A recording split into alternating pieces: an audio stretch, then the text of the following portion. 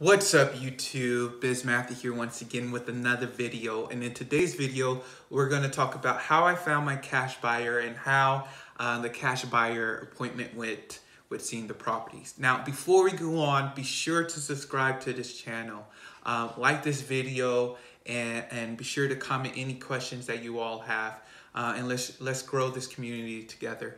Uh, now how I found my cash buyer I'm going to go right into it.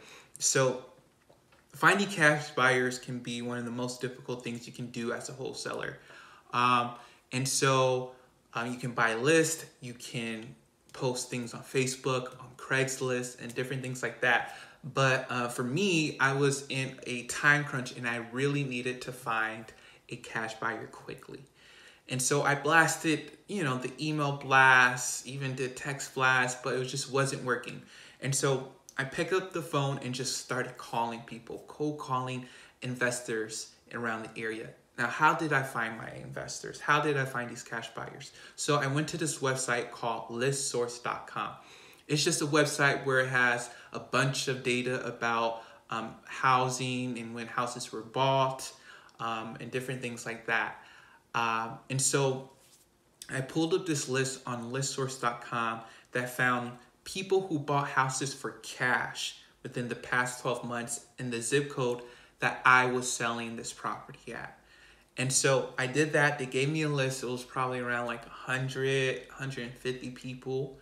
Um, and then from there, I skip trace. Now, skip trace basically means finding someone's number, finding someone's in contact information. And so I skip trace this list of cash buyers and I started calling each and every one of them.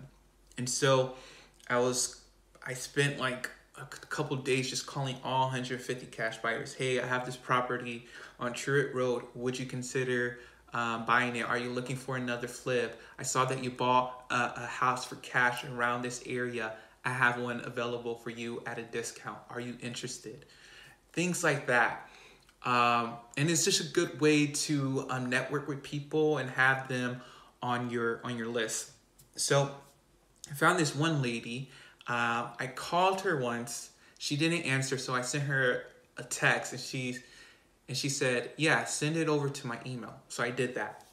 And then two weeks later, I still couldn't find a buyer, and so I just went back to the list and I called her number again. Something was telling me just to call her again because she didn't respond to the email I sent her with the property information. And so I called her and say, hey, you're interested? She's like, okay, let's set up, let's set up a time to see the property. And this is my very first house that I'm wholesaling. And so when I'm going to this property, I am I am extremely nervous because I don't know how the dynamic will work between the seller and the cash buyer and myself. And so I just tell the cash buyer, hey, uh, the seller has been going through a lot of marketing, a lot of people trying to buy their house they would just prefer that all communications be done through me about like the property, uh, price, and things like that. And so she understood that. But even, anyways, you know, they got to communicate and talk to each other. Um, and over time, I just got more open to both sides that, hey, I'm a middleman in this transaction. Um, she brings the cash and you bring the house. And I'm just in the middle facilitating this transaction.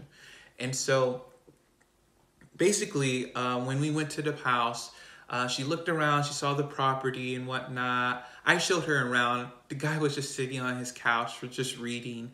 And, I, and she was just looking through the property, saying, wow, you know, it does need a good amount of work. The yard, there was a pool in the backyard that was very costly to fix. And yeah, and so that's how I went. And she said, hey, I'll let you know.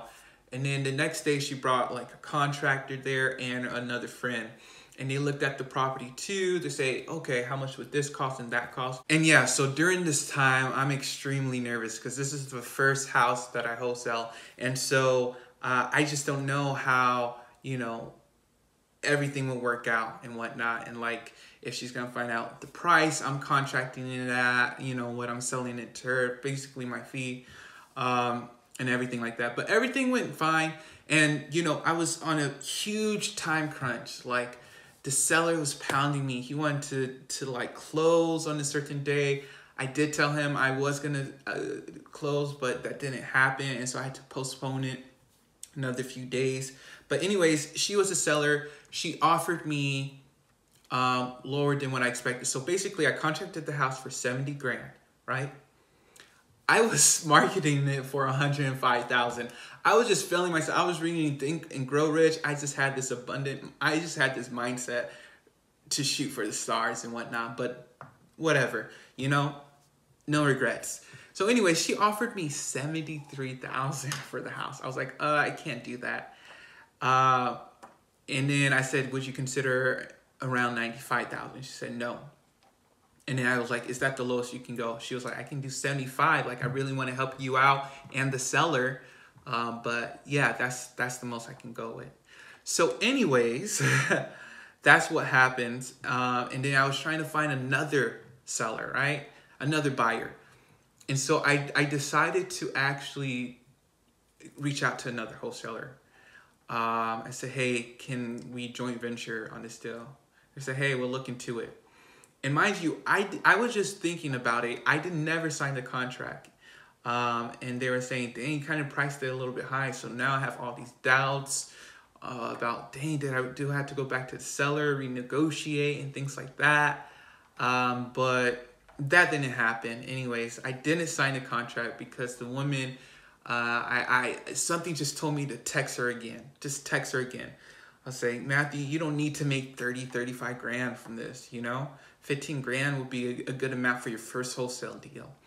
And so I was like, hey, I text her, I say, hey, we'll consider an offer around the mid 80s. She's like, oh, okay, I'm more open to that. And then she came back to the house. Um, you know, and I told, this was her first time working with a wholesaler. So I told her, hey, I told the seller, we can live, leave whatever we want in the, she, the seller can live, leave whatever he wants in the property, any trash, any furniture, and we'll take care of it. And so she wasn't aware of that. She wasn't really aware of that closing costs that the buyer pays all closing costs. I just didn't make that abundantly clear to her because she didn't work with wholesalers. So we took a thousand off for the cleaning fee for trashing the property and then i paid for the closing cost which was 175 and so basically you know as you saw in my other video i made $13825 um, but so that's what happened with with the whole dynamic i got it closed at a title agency put in my name instead of my llc name my mistake um, and then yeah and so I'm going through this with you all just to say, you know, it won't be perfect. It won't be as you envision. It's not as easy as you think. Especially for my first property, I was extremely nervous. I was very stressed. Like, I, I was hardly getting much sleep. Like, it affected my sleep. Like, it was bad because I was trying to find a buyer. I promised a seller, and he was pressuring me um, to get it closed. And you know, like I come there and say, hey, I'm a cash buyer. I can buy this house and then I can't close on the property. That's a no-no. So anyways, um, yeah, that's how it went. And I closed within 30 days with that property and I praise God for that. And, um, you know, now I just know to just relax, you know, wait for a nice buyer, be consistent when you follow up with your cash buyers also. So I hope this all helped you all, you know, just saying my story of how my meeting with the cash buyer went. Um, and yeah, that you all can go forth and do your own thing and uh, make some money. You know, I have goals and plans with this uh, real estate thing. Uh, get some cash flow with assignments fee and invest it in rental properties, commercial, do development deals. You know, those are long-term goals. But yeah, I hope you all enjoyed this video. Be sure to subscribe, like this video, subscribe, like this video, subscribe, like this video, and comment down below. Bye.